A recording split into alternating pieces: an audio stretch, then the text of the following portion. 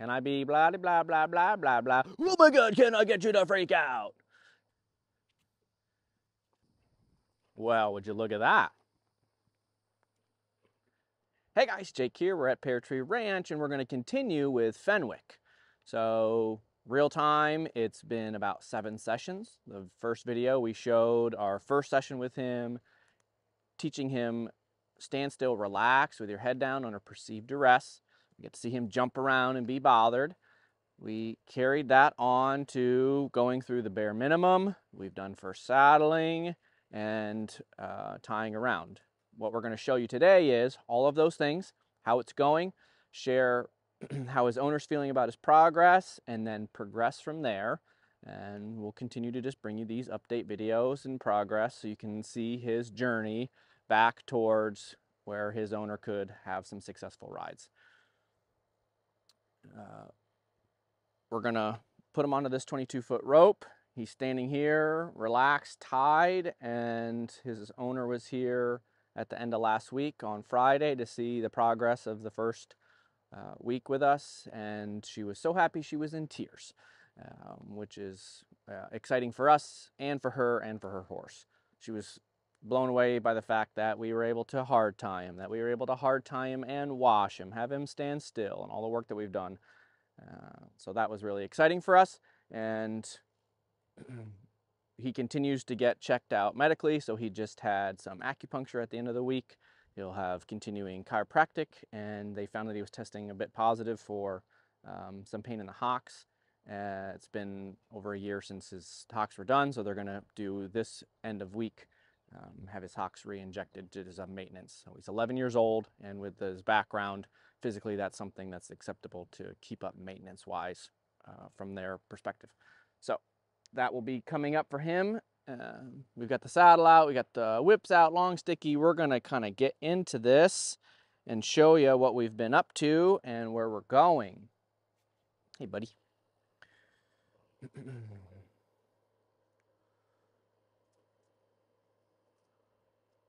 Again, we use the 22 foot long rope on a horse that can kind of get bouncy and um, bothered gives me more rope to slip and slide and him more room. He's a bigger horse and I want him to be able to have space uh, to move. And while we get him back into physical shape, we would slowly work to a shorter and a shorter rope.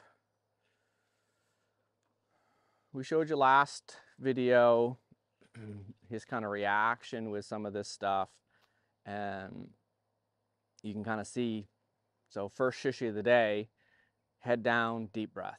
Okay, I showed the owner, she uh, was here, kind of try to sneak attack him. Can I be blah, blah, blah, blah, blah, blah. Oh my God, can I get you to freak out? Okay, and can we catch him sleeping? And what's he gonna do when he gets startled? Because that's what this is about long term is when he gets bothered in the past, he would out of nowhere want to have an explosion. Well, again, we know we found out that some of that was tied to a medical issue, and that's been since cleared up. but that doesn't mean that his mental and emotional about the things he was experiencing isn't still in there. So, a part of preparing him for the future is can we give him some tactics to do when he gets startled that's the opposite of what his DNA says. Let some positive training kick in there. From doing that stand still, we progressed to some forward. We talked about doing forward as a lateral movement along the fence and then also forward on a circle.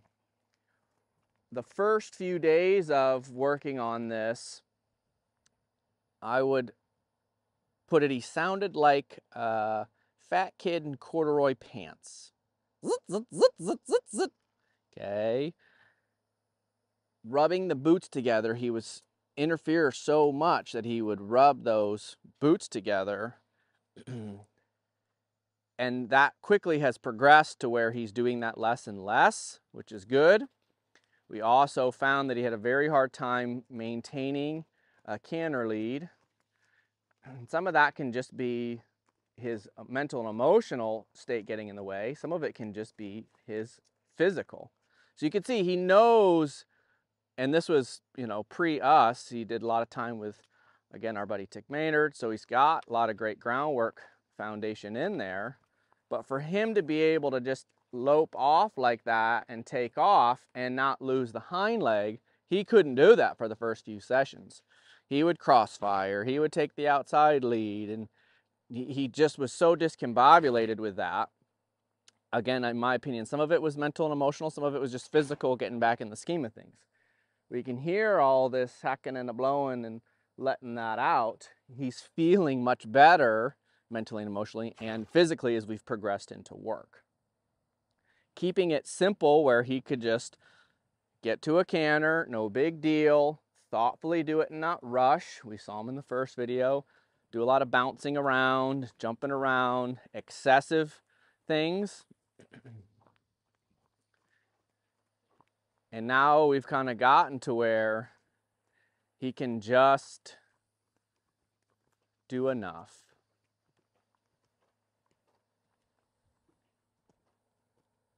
Good job, buddy. Okay.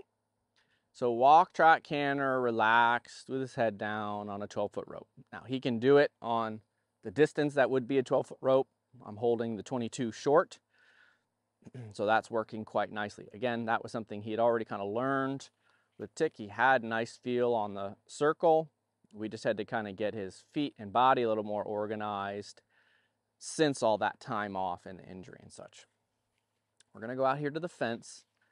I'm gonna do some sideways when we started this, he had the idea of go sideways, but for him to lead with his nose and neck and put his head down, that was a fair bit different that we've progressed to being able to do now. Now, it's Monday, so he's just had the weekend off. So if he has a little energy, I'm not going to be fretted by it. But I like how quick he's kind of back to the expectation. Now you can see a little bit him stepping uncoordinated with his feet.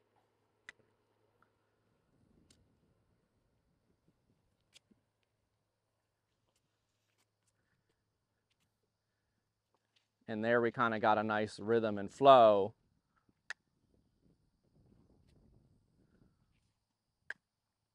where I can softly cluck to kind of encourage him to go. There, we're blowing out. And then once we can get him going,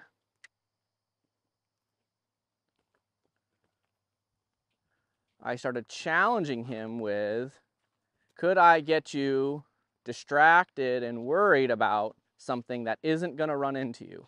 So notice, this flag is out here slapping. This isn't getting any closer to him. So he shouldn't worry about it. Okay? He shouldn't worry about it. Versus if I push in a horizontal plane, that's going to get closer to him. So he needs to read the difference about me pushing towards him and speeding up versus this just out here making commotion. Okay? And I like to see him look, ears forward, eyes forward, even considering stepping towards. And you can see if he's doing anything with his head and neck, he's considering relaxing that head and neck down. Let's go the other way.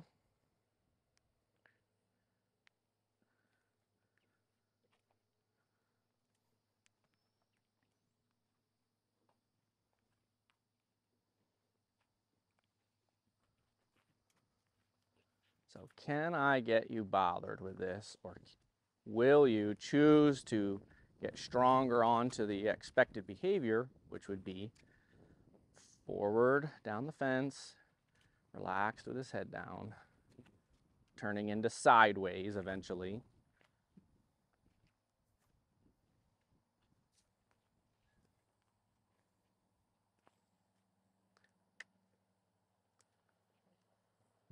That's a nice thoughtful movement out of him. Again, swooping through those turns. There you go.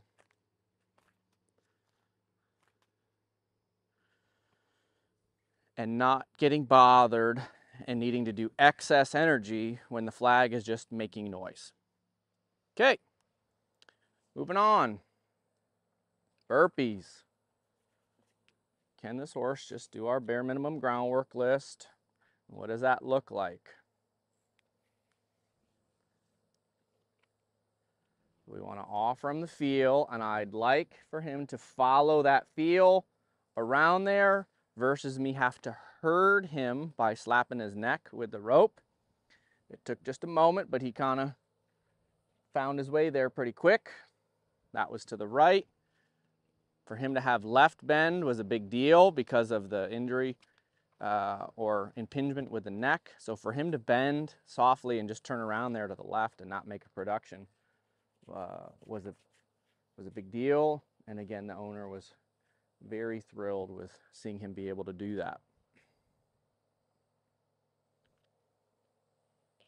Okay, last thing on the list that we haven't done yet is just relaxed, backing with his head down. And again, that's something that wasn't much of a deal. He already kind of had some of these good groundwork skills beforehand. So we've just continued to push him to understand more and have better commitment about not getting bothered by things and doing an excessive thing.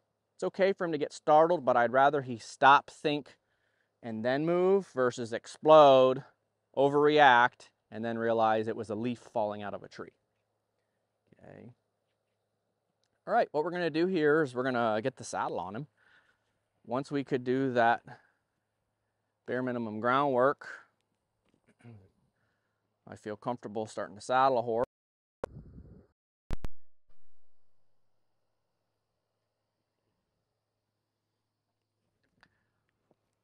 I was pleasantly surprised, as was the owner, that first time with the Western saddle, he didn't really do anything uh, extra, no bouncing around and bucking. It was nice.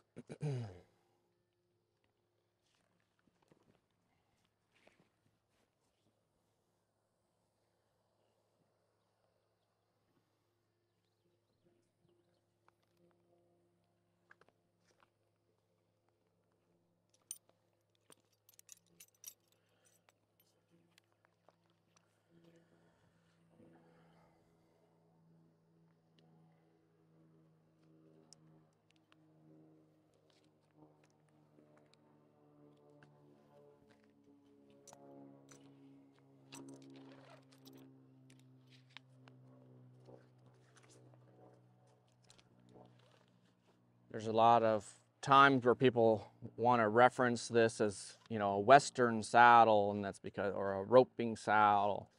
And for me, these saddles, I'm calling it a foundation training saddle because there's so much extra that can go on and prepare the horse for with a good foundation where they get used to front and back cinches, where they get used to strings, saddle strings, and extra leather tickling them. We could see there that freshly saddled and cinched, the backing got stiff. See, the nose and neck got stiff here. So it took a little extra encouragement for him to soften his nose and neck.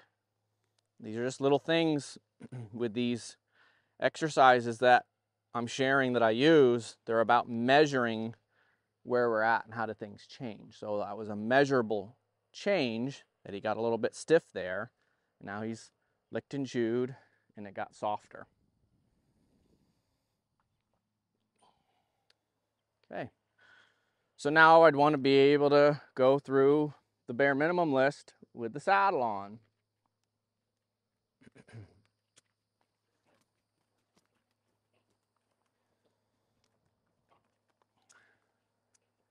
For what we're going to do today for video's sake, we're going to go through and just look at the walk trot canter on the circle here.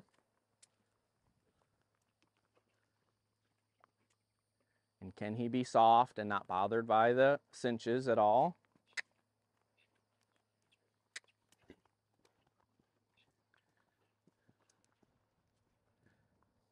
So we can see a little difference in how he moves his head and neck. There we go. Now as training progresses and things go, you can see that how much up we're getting in the head and neck. So I'm keeping a bit of feel in this rein till he wants to relax that down, down, down, okay? Instead of up, up, up.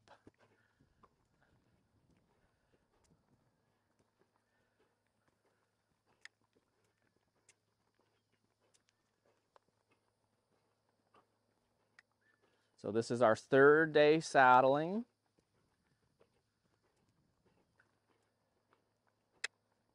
Like I said, we just came off of the weekend. So there's a change. He starts to reach that nose more forward and down. There's a change again.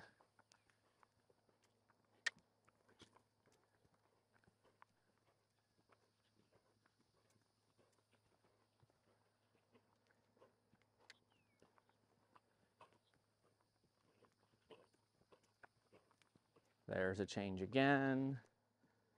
Good boy. Where he can start to relax that head and neck in motion. I'd want to see that come through all the way before we move on to what's in the plan next. Okay, I mentioned while we were kind of introducing where we've been and what we've been doing in this video that we've been tying him around. That's something you've seen me do if you've watched the series with Cisco. And it's something that's going to give me a tell on where's a horse get if they feel trapped with a feel on their face and being asked to move. There's a little breath. We're starting to see that head bob down. Again, this is learning to read. There we go. There's kind of that change we were looking for. Good boy. So that I'd want to see him be able to move like that a little bit to the left. Notice with that little flutter of the flag, it was much easier for him to relax his head and neck down. Good boy.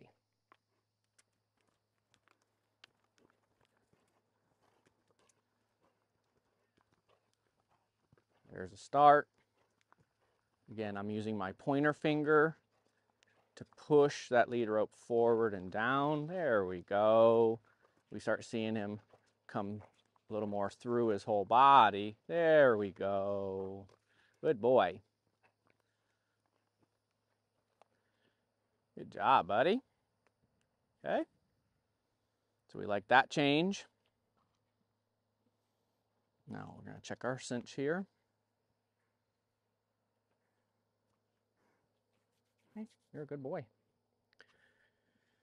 You're a good boy.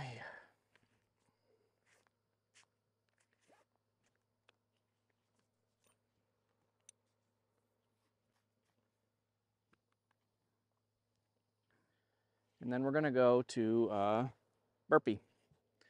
So we'll now have behind the horn. I like teaching this at first without the saddle on because you can't just pull on the rope and pull the horse around with that leverage point behind the horn.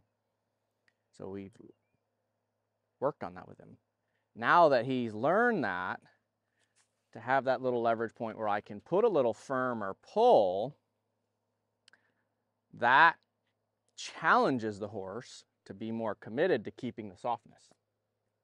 But I wouldn't do that until they already had the idea and had learned what does that yield mean and that they can do it.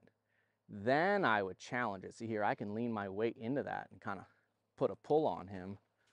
You can see how much the front end moved around that turn. That comes from that bit of brace where he's bracing against that feel. Again, these exercises just help tell us where the horse is at so we can understand and then make educated decisions about where to go from here.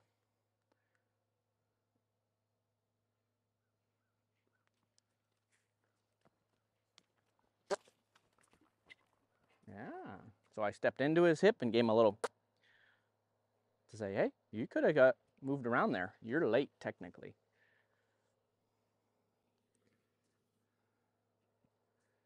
Ah, so now he's starting to offer a little more softness and getting around there in a little timelier manner. And when I go to step to him, he's like, I ain't letting you get my butt.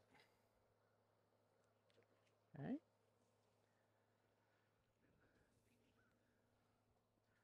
Again, building commitment. Got to have something to work first. See, and I don't have to pull any harder. I can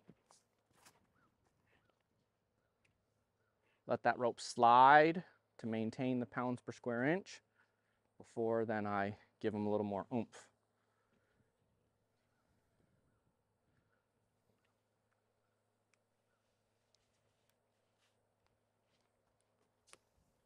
There. And he tried a little harder to get his feet around. Now in the process of doing that, he put his head in the air. So we go, okay, well you hustled your feet a little bit more, but I didn't love your head in the air. There's a little better nose neck. There's a more thoughtful and fluid turn. So then we'd go back to the left side and get that.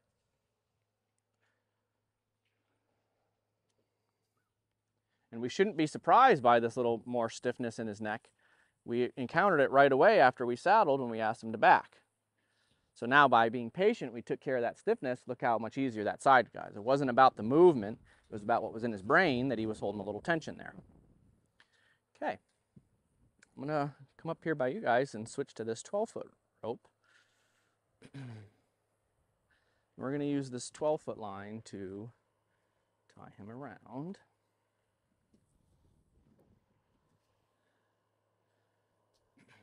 This is one of those things, I've talked about it in other videos, the Cisco series.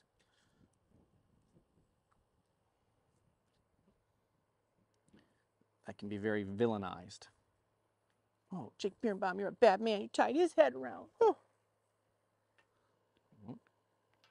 We're saving this horse by making sure that we can get into all those spots and saving ourselves from having to find out what happens when he feels trapped with a feel on his face and asked to move his feet.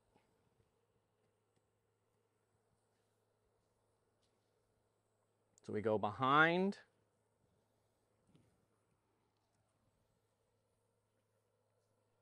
Behind the seat. Helps having the Cheyenne roll because it creates a point that holds the rope. The first day that we did this, kind of had to get it there while he was in motion because he was not able to stand still and bend. Okay. In the process, we've kind of taken care of teaching him to stand still and bend and get him to realize how to keep some softness in that rope while in motion. Now, when it's hooked there, he's in charge of the slack. I can't screw this up because he's responsible. Shouldn't be my job to take and release all the time. It's the horse's job to release themselves. Hey, bud, good job. So I want them to find that, relax at a standstill. And this is a great way to remove the human out of it. Now, once he can do that, relaxed and stood still, then I'd ask him to be able to do it in motion.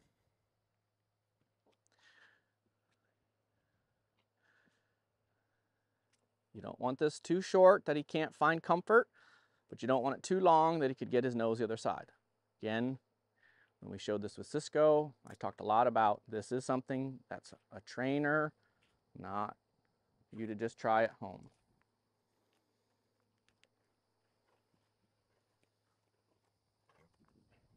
Well, would you look at that? Would you look at that? So on Friday, good boy. It took him quite a few goes to get his feet organized to take the inside lead and to be able to do it pretty relaxed. He right away was like, I got this, took the lead.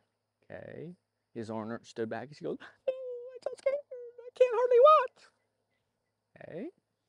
Really made her nervous about what would happen. I think she said, This is my biggest nightmare. And she got to see What has he been learning to do for himself? See, he's taking care of himself now. It's not about me having to save the day. Just because I can be his Superman doesn't mean I need to. Hi, buddy. That was so good. So we saw him be able to just go out there and catch a walk trot canter very quickly and organize his body. We saw him bounce from a left lead to a right lead, so he's going to have nice fancy lead changes quite easily. But it didn't take a lot of time or any energy or pressure from me to support him in that. I just stayed out of the way and patient and then made sure to be there with kind words and reward when he made it. Again, look at him standing still. That's such a big change from the first session where he had a hard time with that. And for him to find the stretch through his neck and the compression on the different sides was a big deal from where he came from with his impingement that he had to have that surgery for. Okay? So now, what they learn here is to take the shoulders out and away. You're so fancy. So his nose comes in while his shoulder steps out. That makes room for this body to get organized. Good boy. Good boy. And how quickly does he find stand still and relax? There, it took one circle, no big deal. Okay, no big deal. I am thrilled with that. Now, the only things that have changed since his session on Friday, remember he had his acupuncture work, so we know that can help his body feel better, which can help him get more organized. That's exciting. Okay. And then we also know that uh, we're going to have the Hocks done. That'll continue to help him feel better physically.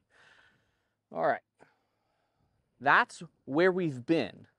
And in a short amount of time now, I've been able to show you a whole week's worth of work to build him up to all of this.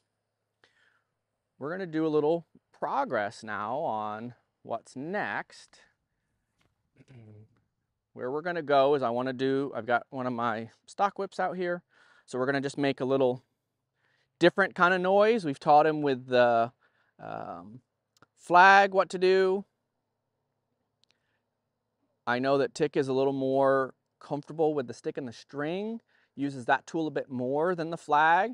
So it doesn't surprise me that he's putting it all the pieces together using the stick and string. I have not used the stick and string. I've just been using the flag. I haven't needed the string to touch his butt, but I like to see him reading my body language and be able to put this together that it doesn't mean anything different.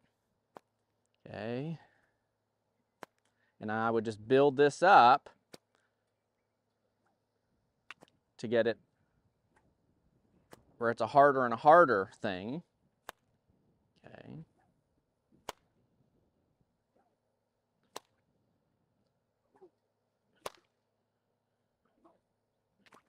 Oop, a sloppy one. There we go. Good.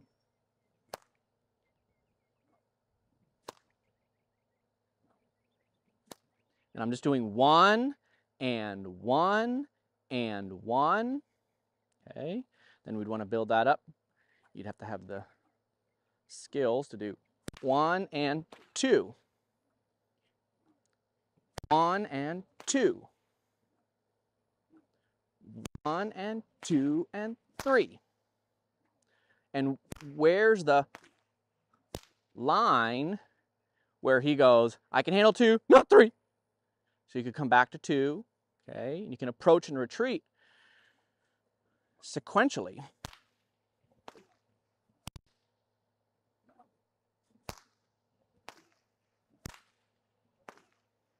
To try to not make him move, but just flirt with that line and then progress it a little bit at a time.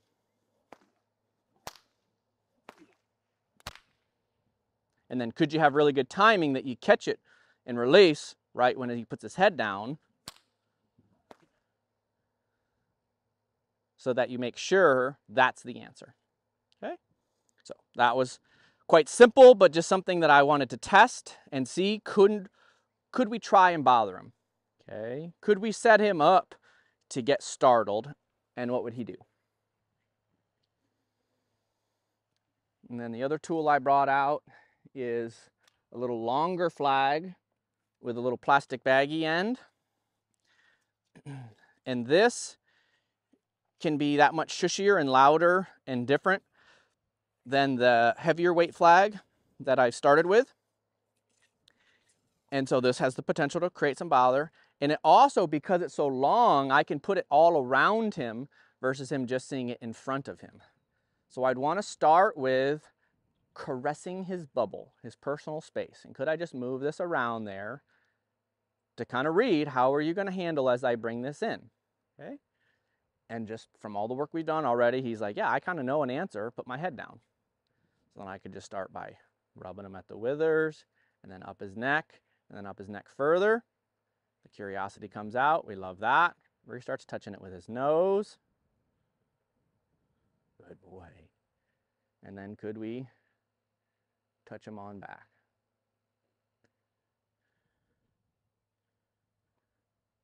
Now, because of the way this stick is, good.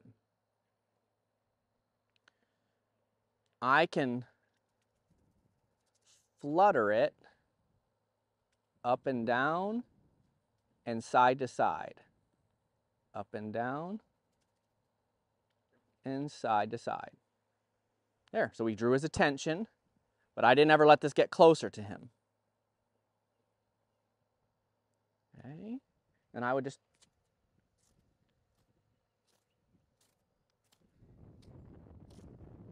start shushing it harder and harder around him to see if I couldn't draw any of those explosions. Good, good boy. And we got some minor bother, but I love that he's not taking any of that too personal and he's not getting sucked into maybe he needs to do more. Okay? We could build this up to then starting to keep some contact with him at distance where I can touch him with the stick while he's out there. Tap, tap, tap, tap, tap, tap, tap, tap, tap, tap, tap, tap, tap, tap on his butt.